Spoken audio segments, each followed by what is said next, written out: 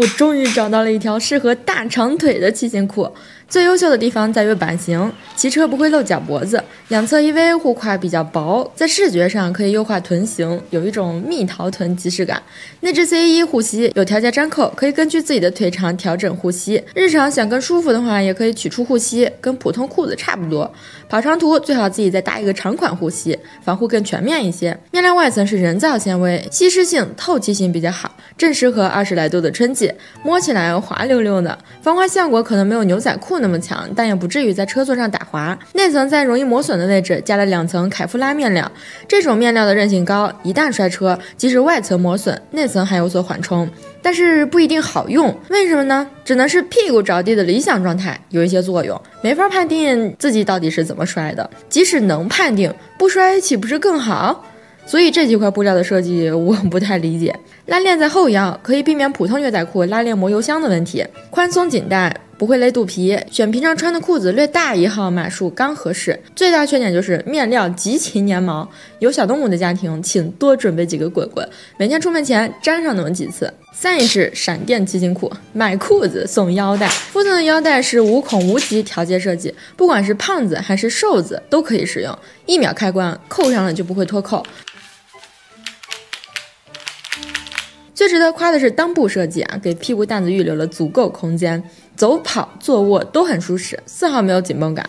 虽然裤脚不是我喜欢的收口设计，但也属于窄脚版型，不会显得嘟嘟囔囔。面料是涤纶加氨纶，不容易起褶，打理方便。防风的同时还保证了优秀的耐磨性能。面料表层有防泼水处理，可登山、可骑行、可徒步。春、初夏、秋、初冬都适合穿。护膝护胯都是 C 一二级慢回弹，看得出品牌是蛮讲究的。从做工、用料、版型设计来看都很可以。五百出头，M 到四 X L 都有，真一分钱一分货。雷驰是不多见的有女款骑行服的牌子，专款专做，更合身一些，不需要用男款小码凑合，颜色饱和度刚好，红色也不俗气，很衬肤色。不管是外出骑车还是上班，都比较日常休闲一些。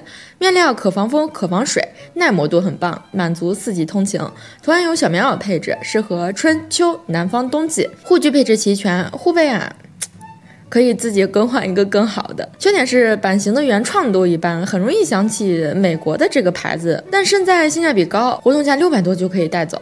附上幺七二幺八零不同身高的穿着效果，给各位家人们参考一下。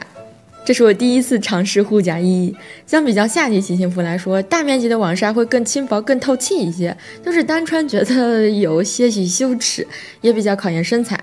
因为疫情原因，厂家还没有替加温度测试的报告，哎，这里就没印上，还是蛮考究的。日常练车、短途跑山是没什么问题。还有另一个颜色啊，我是不太能用得上了，之后会送给尺码和我一样的兄弟姐妹们。这款手套可以说是最便宜的羊皮手套，日常售价幺八八。奇爽、风云、小羊皮四季通勤手套，全部都是进口羊皮，没用人造合成革糊弄，纯皮的，在耐用度、贴合度方面都要比拼接材质更优秀一些，属于越戴越贴手的那种，轻薄，握把手感很好。